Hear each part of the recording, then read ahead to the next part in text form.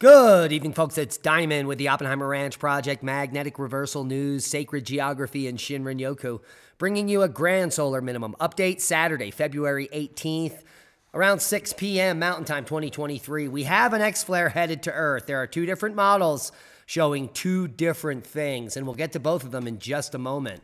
But the big story expansive winter storm to target the Rockies, Great Lakes, and part of the Northeast next week.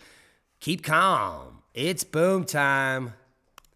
A massive area of snow and, well, generally wet weather is going to be tracking across the country starting now through midweek. Take a look at this. Monday night through Thursday, the snow and rain outlook. Snow as far down as Flagstaff, Arizona, the entire Sierras, all of the Cascades, most of the Rockies, heavy snow in my region as well, and a big swath here in Minnesota say it ain't soda, but it's true. Heavy snow and Arctic cold forecast also from Montana. And as temperatures drop, will snow fall on Puget Sound? Well, we'll see in a moment with the forecast. Snowstorms again close down Mesa Verde National Park for days, at least eight days this winter. So almost approaching a record there. And here's the forecast heavy rain continues in Hawaii, massive winter storm next week. A plume of tropical moisture continues to produce heavy rain and flooding across the Hawaiian Islands. Meanwhile, a massive winter storm is expected next week to cro- across large portions of the lower 48, with the system dividing and diving through the west early in the week before moving into the central U.S. and Great Lakes midweek. Expect widespread heavy snow and a wintry mix, high winds, and severe thunderstorms as well. And stay tuned for the full forecast as it unravels. Let's take a look at the latest GFS model. Here is Sunday into Monday. You can see the system is going to be dipping down. Here's your Tuesday forecast. And so heavy snow will be in the Cascades, dipping into Northern California as the system moves into the Four Corners region on Wednesday into Thursday. So, Wednesday into Thursday, it's going to race across the country, bringing a heavy swath of snow to eastern South Dakota, southern Minnesota, and most of Wisconsin. Take a look at that. Michigan isn't out of the woods either. And then the Northeast is going to be picking up some pretty significant totals there. So that is through Thursday. Take a look at that.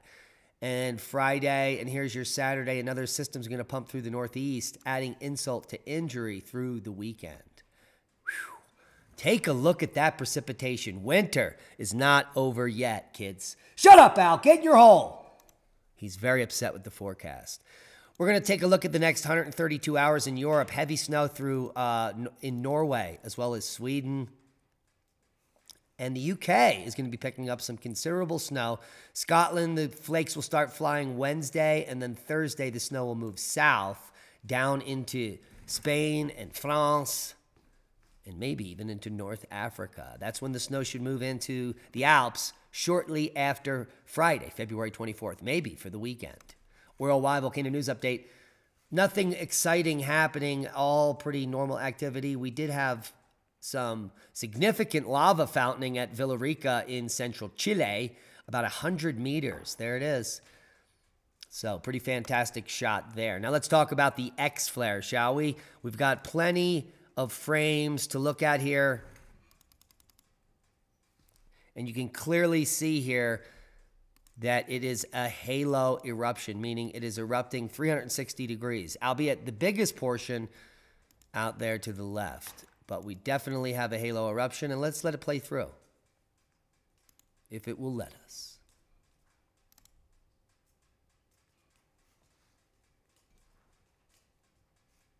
Okay, so just give us one shot there. Come on, guys. We're getting hung up here. So clearly a halo eruption is headed towards Earth. Now, we're going to first take a look at ISWA.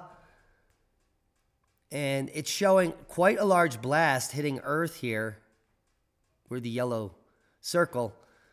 On all angles, it's looking like quite a significant blast to Earth, high up here in the whites and grays. But the WSA Enlil spiral came out shortly after that, and let's uh, refresh it, see if it's changed any. Nope. And it's showing a much more glancing blow. And so we'll just play that through for you. You can see the flare coming out there, the X 2.28, and you can see where Earth is, and it almost nothing. None of the major portions in this model of the plasma are going to hit Earth. So, very minor event here coming over from the NOAA product versus the NASA product is a little bit more severe. So, what we should see is at least something. On the NOAA model, it's looking barely like anything right there. That's it. Just a small spike. But in the NASA model, whoa! So we could be seeing uh, geomagnetic storms G1 through G3. It's anyone's guess, so we're going to have to keep a close eye on it. Here is DSCOVR Real Time Solar Wind. The other CME may have arrived right here, but it is not really bumping up the KP index at all. We're still at KP 2.5, and the 3D three day geomagnetic forecast is not updated for this X flare, which is quite interesting. It is, however, the weekend, and maybe people are just off. But take a look at this. Do not engage with the man dressed in the Cookie Monster costume at Santa Cruz Wharf, according to police. Very interesting story, and a very creepy man in a very, they call him the Creepy Monster. now, I wanted to share this with you all. A stunning silver wedding dress was recovered from a 17th century shipwreck, as well as other amazing artifacts. That's like a leather book and some more garments. But that dress has silver beads woven into the fact the fabric. Look at that. We do not make products like this any longer in the United States or anywhere in the world. This was incredible craftsmanship where the silver was woven directly into the fabric. Now, the first crewed Starliner mission is on track for April, and this is going to take people to the space station and beyond. Boeing's CST 100 Starliner spacecraft was wheeled into a processing area at the Kennedy Space Center. Now, this is just the nose on a rocket. Can you imagine getting blasted into space on that? Well, you can witness it soon.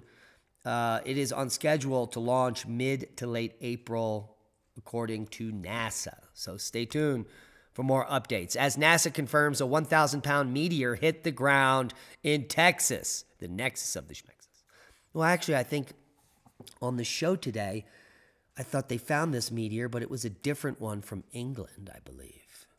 But nonetheless, NASA confirmed that that boom we reported on the other day um, what they had the press conference was actually a meteor about two feet wide and weighed a thousand pounds, and it fell on South Texas. Experts believe the space rock broke into several pieces before hitting the ground around 6 p.m. Wednesday near McAllen, Texas. And here we have video, so let's load that up. Whoa! A meteorite. Holy macaroni. They even have a map here where you, the strewn field where people could potentially find a piece of that object. So if you're in McAllen, Texas, check it out and go find a piece of the meteor. Rare red auroras explode over America's and Europe's north, and more are on their way. Yes, the rare red aurora exploded across northern Europe and Canada and there are more auroras coming. Let's take a look at the aurora forecast. Nothing currently happening. But when this geomagnetic storm gets here on the 19th or the 20th, that's just in about 24 hours, it could be auroras down into the low latitudes. So that's kind of interesting.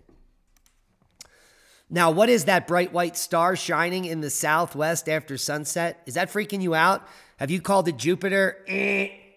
yeah, it's Venus the brightest object in the night sky aside from the sun and the moon. Earth's hotter sister planet has been gradually rising into the night sky, low in the southwest at Christmas to where it is right now, and it'll continue to rise up there until July. And will get brighter through June 4th when it reaches its furthest from the sun. So, fantastic things happening in the night sky. The most recent thing you want to look up for is February 21st through the 23rd. Jupiter, Venus, and a slim crescent moon will all align.